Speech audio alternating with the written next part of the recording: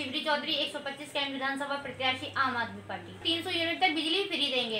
पाँच हज़ार रूपए प्रति माह युवाओं को देंगे। और अगर महिलाओं की बात करें तो एक हज़ार रूपए प्रति माह हम गृहिणियों को देंगे।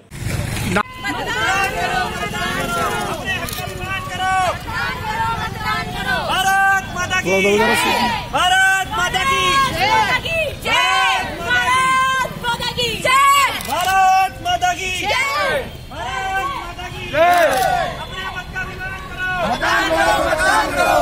अपने हक का अभिमान करो। मतदान करो मतदान करो। अपने मत पर अभिमान करो। मतदान करो मतदान करो। मतदान करो मतदान करो। अपने हक का अभिमान करो। मतदान करो मतदान करो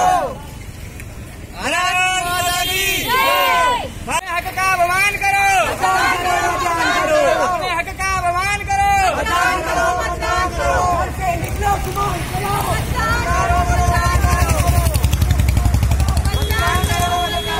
भैया क्या नाम है आपका नमस्कार, मैं वंश चतुर्वेदी, लेखक, कवि एवं वक्ता पैरालीगल वॉलेंटियर्स यहाँ पर संयोजक, बरेली कॉलेज बरेली इकाई। देखिए, हम सभी लोग मतदान करते हैं और मतदान करने के अधिकतर लोगों को मैंने देखा है कि 30 प्रतिशत जनमत से जो सरकार बनी होती है, अपने हक की मांग करने लगते हैं। हम सभी विधि विभाग के छात्र हैं। हमारा सबसे पहला मान है या सबसे पहली मांग है कि अगर हम न्याय के लिए खड़े होते हैं तो सबसे पहले हमें न्याय अपने आप से बरतना होगा।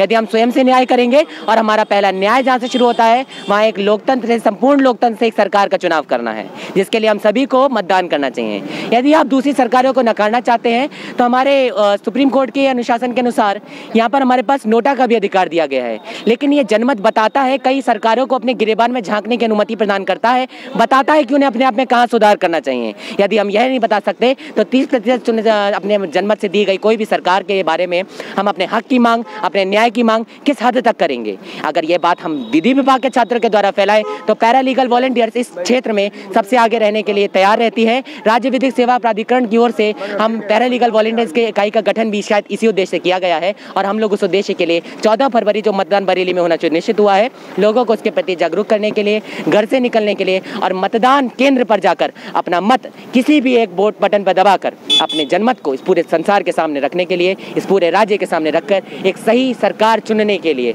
रखने के लिए हम अपील करते हैं। मेरा नाम सनी कनौजिया और मैं पैरा लीगल वॉल्टियर हूँ? सर, देखिए, हमारा जो देश है, वो विश्व में सबसे बड़ा लोकतांत्रिक देश है।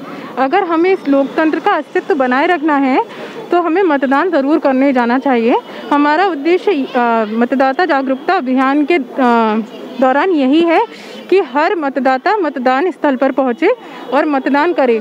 अगर वो ये सोचते हैं कि सरकार से हमें मतदान क्यों करें? हमें सरकार से क्या लाभ है? तो ये है कि कहीं ना कहीं उनके पास सुप्रीम कोर्ट की गाइडेंस है गाइडलाइन जारी है कि नोटा का ऑप्शन दबाएँ, ताकि जो राजनीतिक दल है, वो भी ये कहीं सोचें कि कहाँ कहाँ कमी रह गई है। प्रत्याशी शायद क्षेत्र में लोगों को पसंद नहीं आए हैं तो सरकार उस पर चिंतन भी करेगी, सभी राजनीतिक दल चिंतन करेंगे और अच्छे से अच्छे प्रत्याशी को वहाँ उतारा जाएगा। एक और जहाँ पर लोगों में उत्साह रहता है मतदान को लेकर। वहीं दूसरी ओर उदासीनता भी दिखाई देती है। तो इसी उदासीनता को हमें सर बदलना है और बदलेंगे तभी जब हम संवाद करेंगे। तो हमारा आज का जो अभियान है उसमें प्रथम चरण है रैली का दूसरा होगा डोर टू डोर कैंपेन और थर्ड होगा सर हमारा नुक्कड़ नाटक का। तो इसी अ, हम हमारा जो संदेश है इस अभियान के तहत वो हर मतदाता को जागरूक करने का कि वो मतदान स्थल पर जाए और अच्छे से अच्छे प्रत्याशी का चयन करें ताकि वो आपके क्षेत्र का विकास करे आपको रोज़गार उपलब्ध कराए बस।